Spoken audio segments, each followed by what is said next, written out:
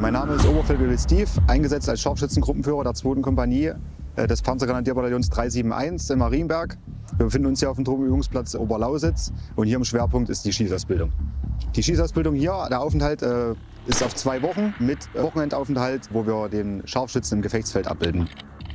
Die Ausbildung des Scharfschützen ist immer gleich. Es gibt eine Scharfschützenvorausbildung, die in der Regel äh, sich auf zehn Wochen bezieht, in der alle Bereiche des Scharfschützen abgebildet werden.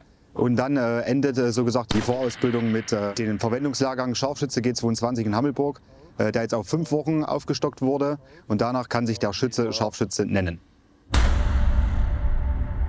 Es gibt einen Schützen, dieser bedient auch das Gewehr.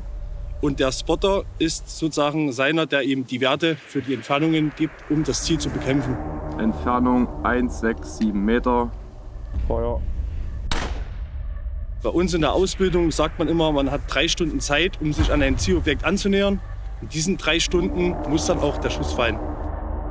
In der Annäherung werden alle Ausbildungsabschnitte, die vorher ausgebildet wurden, äh, vereint, um äh, so gesagt zum Ziel zu kommen. Das beinhaltet das Abtauen des Schützen, das Orientieren des Schützen, das Beobachten sowie das Schießen, Anschlagsarten und alles andere, was vorher ausgebildet wurde. Bei der Tarnung im Gelände kommt es darauf an, dass wir uns dem Hintergrund anpassen und der Umgebung.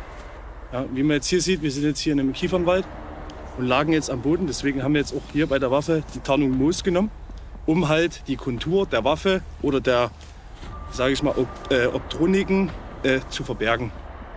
Der Gili, das stellt jeder äh, Scharfschütze der Bundeswehr selber her. Und dann im Gelände äh, passt sich der Scharfschütze der Umgebung mit diesem Gilli an warum ich diesen Job ausübe. Man hat halt als Mannschafter eine hohe Verantwortung und kann diese halt dann dementsprechend je nach Auftrag auch ausüben als Mannschafter.